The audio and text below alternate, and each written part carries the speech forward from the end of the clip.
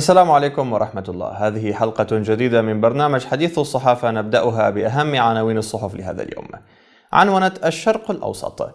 مقتل 19 من داعش في ضربات للتحالف عند البوكمال.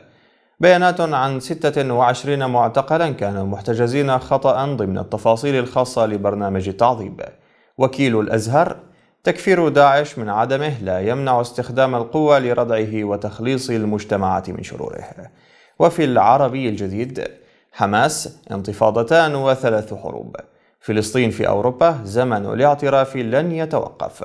شائعات تهز تركيا. الحكومة تسعى للانقضاض على أنصار جولن اليمن الحوثيون يتوغلون في أرحب. وفي القدس العربي فقد جاء لهذا اليوم. أرصفة دمشق تتحول أسواقا شعبية رخيصة ومرتعا لعناصر مخابرات النظام. رفض التسليح للعشائر في المناطق الساخنة يعود لمخاوف شيعية وكردية وغايات أمريكية. انتقادات واسعة وخيبة أمل تجاه القانون الانتخابي الجديد في مصر. تظاهرات تعم الأراضي الفلسطينية احتجاجا على استشهاد أبو عين وانتشار كبير لشرطة الاحتلال في القدس. أما في الحياة الغرب يطالب بمراقبين لوقف القتال في حلب. أمين لجميل يطالب بعودة اللبنانيين المبعدين إلى إسرائيل. تنديد فلسطيني بتفجير عبوة استهدفت المعهد الثقافي الفرنسي في غزة. وفي موقع سيريا نيوز فقد جاء لهذا اليوم. دي ميستورا خطة التجميد تعني وقف العمليات العسكرية وليس إعادة نشرها وأي تصعيد سيقابل بإجراءات رادعة. الكونغرس يقر خطة تسمح للبنتاغون بتدريب المعارضة السورية كجزء من الحملة ضد داعش. ضحايا بقصف على جاسم بريف درعا وقصف على جوبر بدمشق وزبدين ودير العصافير بريفها. صحيفة الوطن السورية الموالية للنظام عنونت لهذا اليوم. مسلحو حلب رفضوا الاستجابة لمبادرة وخطة ديمستورا لتجميد القتال. مساعد المبعوث الدولي يبدأ محادثاته بدمشق. لافروف وكيري يبحثان الأزمة السورية اليوم. وفي صحيفة ين شفق التركية. سياسيون يستقبلون أوغلو بلافتة مكتوبة باللغة العثمانية. أمين لجميل يزور جنوب البلاد لأول مرة منذ عام 1983 الجيش المصري يعلن مقتل 16 إرهابيا خلال اليومين الماضيين. العراق 100 قتيل من داعش خلال 24 ساعة. وقيادي كردي يقول إن المقاتلين الأيزيديين تصدوا لهجوم للتنظيم على جبل سنجار شمال البلاد. أما وكالة أنباء الأناضول التركية فقد عنونت لهذا اليوم. وزير خارجية تركيا. إذا كانت العزلة الدولية لمواقفنا الثابتة فمرحى لها. أردوغان مدافعا عن اللغة العثمانية اللغة ذاكرة وحضارة وبدونها تفنى الأمم. برلمان بروكسل يطالب بالاعتراف الفوري بدولة فلسطين.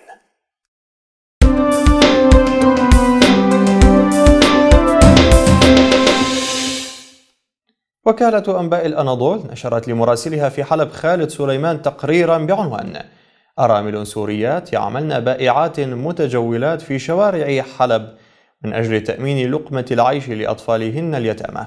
جاء فيه. تحولت آلاف النسوة اللواتي فقدن أزواجهن جراء عمليات النظام السوري إلى بائعات متجولات في شوارع حلب من أجل توفير الحد الأدنى من متطلبات العيش لأسرهن. وكانت العمليات الجوية والبرية للنظام السوري استهدفت بالطائرات الحربية والصواريخ والقنابل المناطق الخاضعة لسيطرة المعارضة في حلب إذ أسفرت عن مقتل الآلاف من المدنيين من الأطفال والرجال والنساء مخلفة وراءها آلاف النسوة والأرامل. وتعتبر أم محمد ذات الأطفال السبعة ستة منهم إناث إحدى النساء الأرامل اللواتي اضطررن للعمل كبائعة متجولة تبيع الشوكولاتة من أجل توفير لقمة العيش لسد رمق أطفالها اليتامى. وأشارت أم محمد إن النساء والأطفال هم الأكثر تضررا جراء الحرب الدائرة في سوريا منذ أكثر من ثلاث سنوات. وسردت أم محمد معاناتها قائلة سبق أن طلبت مساعدات من جمعيات خيرية عديدة غير أنني لم أحصل على شيء. لذلك أضطررت لبيع الشوكولاتة في الشوارع كي أعيل أولادي السبعة بحسب قولها.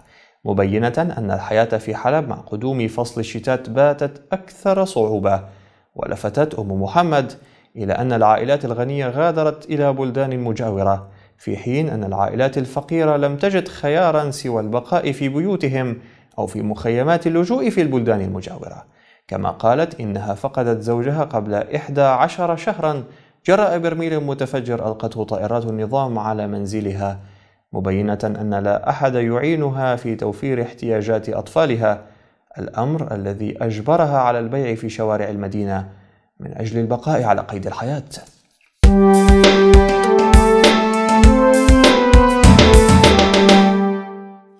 صحيفة تلغراف نشرت تقريرا تتحدث عن استمرار طرق التعذيب نفسها في سجون سوريا على الرغم من تغير القائمين عليها. وتعتمد السجون الموجودة في مناطق سيطرة تنظيم الدولة الإسلامية نفس أساليب التعذيب التي كانت متبعة فيها عندما كانت تحت إدارة حكومة الرئيس السوري بشار الأسد بحسب ما نقلته الصحيفة عن سجناء اختبروا التعذيب في كلا الحالتين. وتقول الصحيفة إن أسلوب التعذيب المفضل لنظام الأسد وتنظيم الدولة الإسلامية هو ما يعرف باسم الشبح حيث تصفد اليدان خلف الظهر ويعلق الشخص من القيود للضغط على مفاصل الكتف. ونقل التلغراف عن حازم الحسين الذي عذب في سجون تنظيم الدولة. يجب أن تتحلى بالصبر. إذ لو غضبت ستقطع رأسك وهذا ما يريدونه. ووفقا لتقرير الصحيفة فإنه في بداية الاحتجاجات في مدينة رقة قامت الحكومة السورية بقمعها والقبض على الكثير من الناشطين فيها. وأضاف التقرير أن جيمي شاهينيان وهو أرمني مسيحي عذب باستخدام طريقة الشبح كل أربعة أيام على مدار أربعة أشهر حتى خلع ذراعه من مفصليهما. وبعد سيطرة تنظيم الدولة الإسلامية على الرقة اعتقل الحسين من أحد الشوارع بدعوى أنه كافر ورافض للشريعة على الرغم من أنه سني بحسب الصحيفة وأوضح التقرير أن الحسين عذب أيضا بطريقة الشبح كل أربعة أيام لمدة تصل إلى 48 ساعة في كل مرة. وتقول تلغراف إن المعاناة مستمرة على حالها إذ أن عدوى الوحشية منتشرة في سوريا.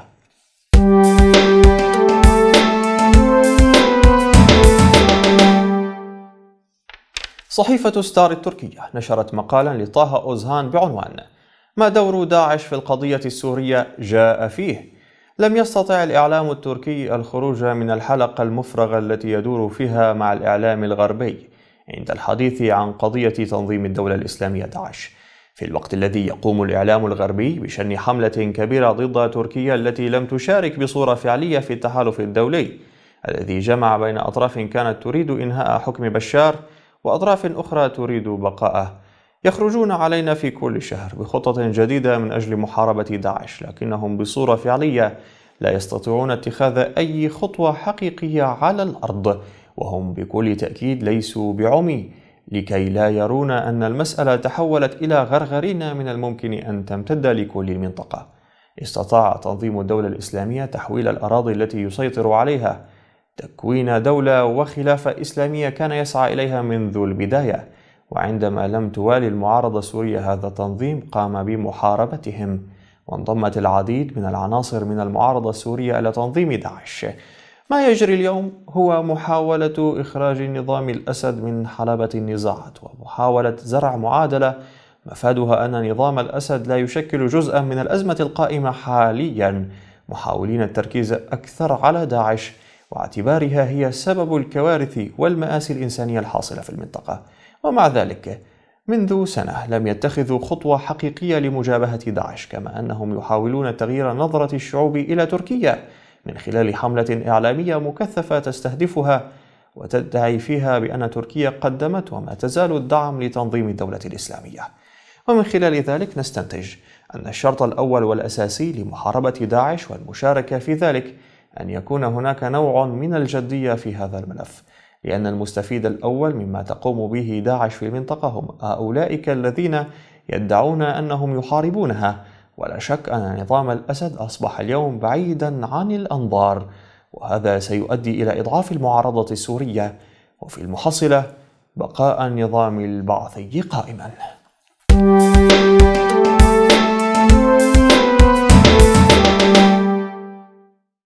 موقع المدن الإلكتروني نشر مقالا لأحمد عمر بعنوان ممارسة العادة السورية جاء فيه إذا نفذت دولة التنظيم وعيدها فإن نصف السوريين سيمشون في الشارع بنصف شارب. بعضهم سيعلق في أذنه بعرا وبعضهم سيلبس زي النساء بسبب النذور. دولة التنظيم اسم مقتبس مقلوبا من تنظيم الدولة بعد تصويبه سياسيا. هي الحاكمة في سوريا وهي تمارس العادة السورية مع العدو الغاشم. أحسن ميشيل كيلو عندما كشف أن النظام لا يزال يتصرف كتنظيم سري بعد عقده مؤتمر البعث الأخير في دمشق. السلطة حكما وإدارة وقضاء ومخابرات ومعاهدات كانت كلها من مناسك ممارسة العادة السورية داخليا وهي الموروثة من أيام آلاموت والصباح والحشاشين.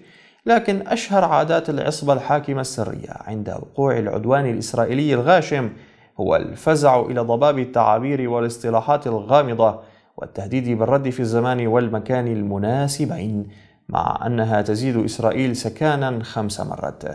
وليس بها حاجة إلى السلاح الكيماوي الذي ضحت به على اعتبار أن السلاح الكيماوي محرم دوليا وشرعيا وخطر على شعبها. وأن في سلاح البراميل الكثيرة والصواريخ غنى وذخيرة وكفاية كما أن سوريا العشوائيات لا تحتمل وخزات إسرائيلية لهشاشة بنيتها الصناعية والوطنية. سبعة اعتداءات إسرائيلية موزعة على سنوات طوال. انتهت كلها برفع تهان بأسمى آيات التهديد والاستنكار الذي كان يجعل إسرائيل شعبا وحكومة لا ينامون الليل خوفا. والغريب أن الاعتداء دائما خائب في الإعلام الرسمي. عندما يصبح إيضاح الواضح من القبائح لابد من اللجوء إلى السخرية. ولهذا اكتظت صفحات الفيسبوك بزفرات السوريين الساخرة. زفرة أولى واخ عيني العدو الإسرائيلي يعتدي على العدو السوري. وثانية رد العدو السوري على العدو الإسرائيلي بضرب حماة ودرعا وأورشليم الزور والرقة. والجواب ما تراه لا تسمعه يا أنتن اليهود. ثالثة سامحتك سامحتك. كثير رابعة ضرب الحبيب زبيب. خامسة جبناء ردوا مرة واحدة ولو بمدفع رمضان. سادسة وفي الحروب نعامة عفوا زرافة. سابعة نيران صديقة. النتائج هي أن سوريا الأسد تحولت من دولة خارجية في مرحلة الأمن والاستقرار إلى دولة داخلية في مرحلة الثورة. إسرائيل بلا حدود جغرافية. أما سوريا فبلا حدود دستورية. العادة السورية لا تقضي وطرا ولا تنجب مولودا. لا أظن سوريا ناسب مكانه وزمانه يو... لا أظن سوريا ناسب مكانه وزمانه يوما في نصف القرن الماضي. النتيجة عقم والسوريون يرشحون جنرال القدود الحلبية صباح فخري لمنصب وزير الدفاع. وإذ لطالما غنى للحبيبة القاسية ردي عليه ردي لنتخيل قنبلة كلور وليس سارين. تسقط على سكان الجولان الحبيب الآمنين الذين يمارسون هواية التزلج على الثلوج في هذا الوقت الحرج من التاريخ واقعينه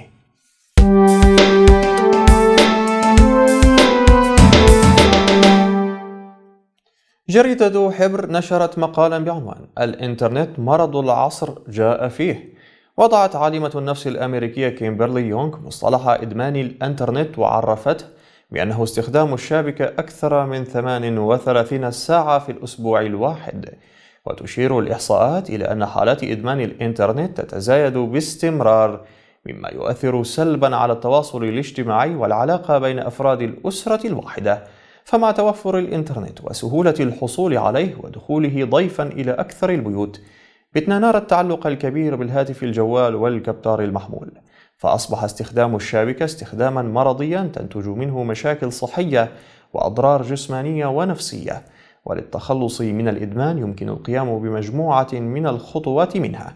تنظيم ساعات الإنترنت مع وضع خطة تخفيض كل يوم عشر دقائق. إيجاد بديل عن الساعات التي تستهلك وقتا للإنترنت مثل نشاطات اجتماعية زيارات ولقاءات حضور دروس العلم الخروج في نزهة القيام بأعمال المنزل. لزوم صلاة الجماعة في موعدها المحدد لها وقراءة القرآن عقب كل صلاة. الانشغال بالقراءة والكتابة والهواية المفضلة. القيام بأعمال قبل استخدام الشابكة وتحديد عمل يتوجب القيام به بعد الاستخدام. تحديد مواعيد منتظمة والعمل على الرقابة الذاتية. العمل على بث الإرادة والثقة بالنفس للتخلص من حالة الإدمان. بهذا المقال نكون وصلنا لنهاية حلقتنا لهذا اليوم. على أمل أن نلقاكم دائما بكل خير. نستودعكم بأمان الله. السلام عليكم ورحمة الله وبركاته.